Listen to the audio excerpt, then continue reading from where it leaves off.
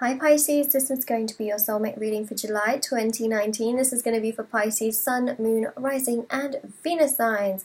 And if you would like to win a free reading with me, do check out the description box below as I do a giveaway every single month. And if you'd like to know how to enter for that, information will be down below. And if you'd like to book a private paid reading with me, information will also be down below, as well as information for my bracelets, which are linked on. There's a link down below in the description box to my Etsy. They are handmade, spiritually charged bracelets for different areas of your life, and they start from just £3 with free international shipping. So, Pisces, let's start with your reading and see what messages come out for Pisces Soulmate July 2019.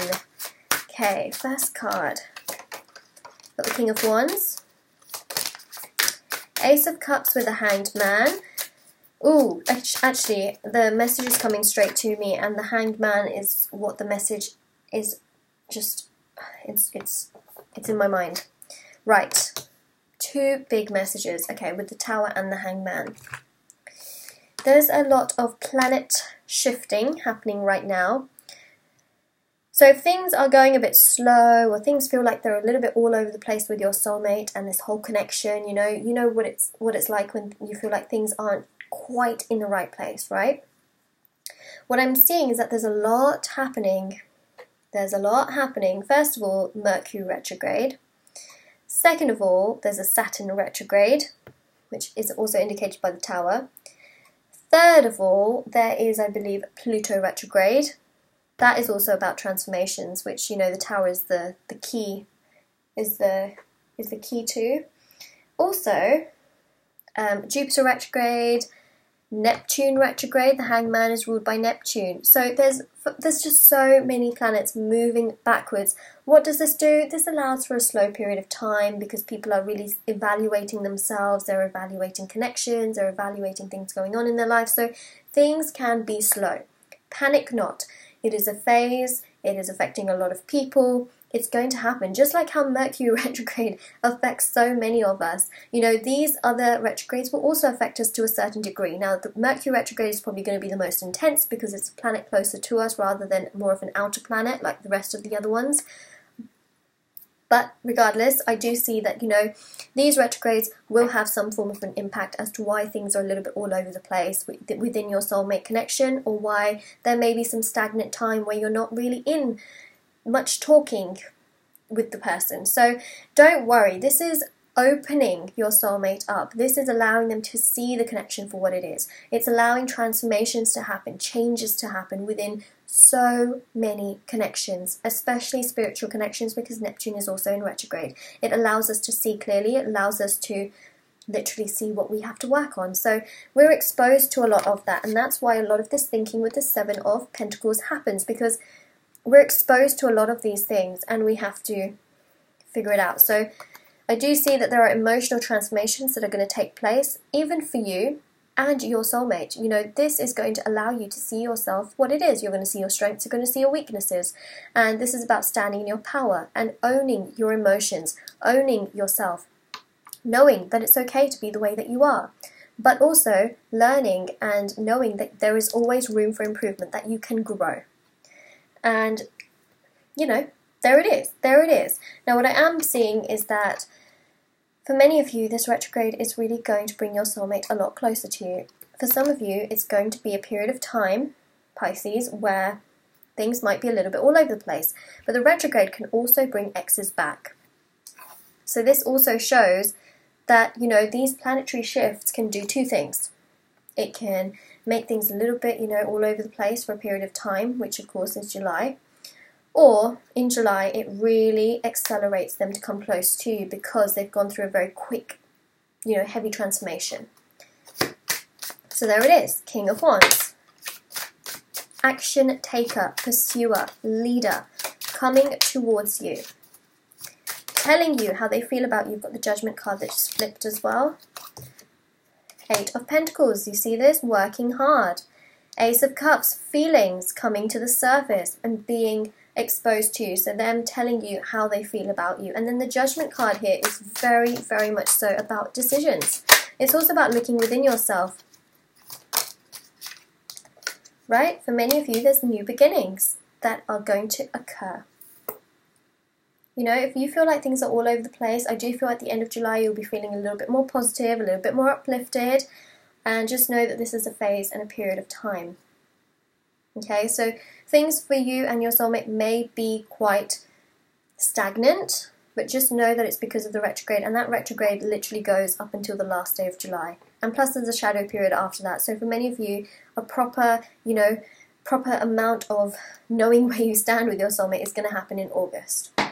But for a lot of you, what I do feel sorry, that's my um, slipper that's just falling off my foot.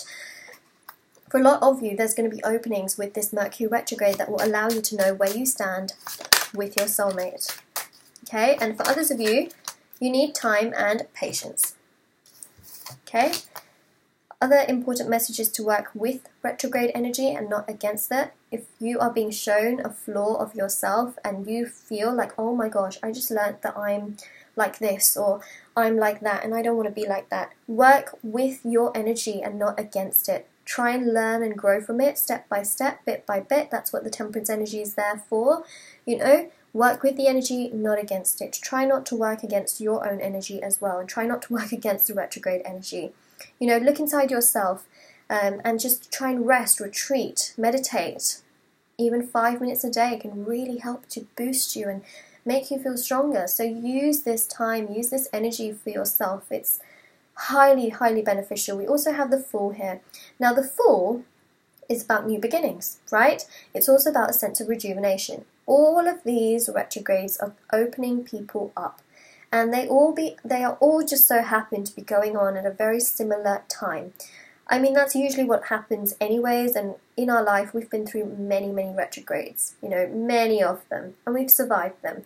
But I think when you understand the meaning of them, and then you know, subconsciously, psychologically, you start thinking a lot about it, it can it can feel quite intense. But know that you have been through many of them. But this is again just coming through because you know, for some of you, things are quite stagnant. For others of you, things are, you know, are quite stagnant, but they are coming forward because Mercury retrograde lets them come forward and take action. The judgment card here is very much so about judging the situation. That's what you know your soulmate is going to be doing, and so are you. You're going to be judging the situation, seeing how it's working, seeing what's going on, reflecting and reviewing everything rewinding as well, seeing what's going on. And then we also have the Ace of Pentacles, so this shows commitment. So even if, you know, you feel like the Mercury retrograde is rubbish in regards to you and your soulmate, really nothing has happened, I still see that somewhere down the line there is going to be commitment, okay? There is going to be that initiation with this arch, there is going to be commitment that is going to come to you. And I do see that there may be a period of stagnant energy right now, but I do see that there's going to be that initiation. And for those of you where your twin, uh, your twin flame, your um, soulmate, sorry, is coming forward, they're taking action. They're coming forward to you, and they are literally now, right now, in July, saying, I want to offer commitment. And then you will be the one to take on that judgment card and make a decision, an informed decision as to what it is that you want to do. Because of course it's it's a mutual connection, not one-sided. The Ace of Cups is them pouring their feelings out to you, working hard, you know, on themselves but also on the connection.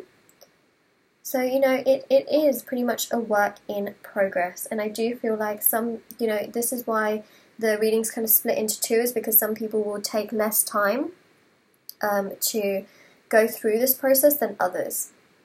Whilst for others of you, this may not all happen in July because the retrograde literally goes through the whole of July. So for some of you, that opening may not happen until the following month. And for others of you, it will happen in July. So that's what I'm seeing. But there's, you know, there is a new beginning that lies ahead. But this month may be slow because we've got temperance. You know, there's a slow moving energy and also the Four of Wands is also slow. So I'm just putting that warning out there. Take it how it resonates. This is one of those readings where, where you know, it can go two ways. So take it as it resonates. And Pisces, this is your reading. If you enjoyed it, don't forget to like this video and subscribe to my channel. And also comment down below how this resonates with your situation. And don't forget to check out the description box below for information on private paid readings, the free reading giveaway, my bracelets which are on Etsy, and there will be a link down below if you'd like to follow me on Instagram, so that will all be in the description box below. Hope you all have a lovely day, and I will see you all very, very soon. Take care, everyone. Bye.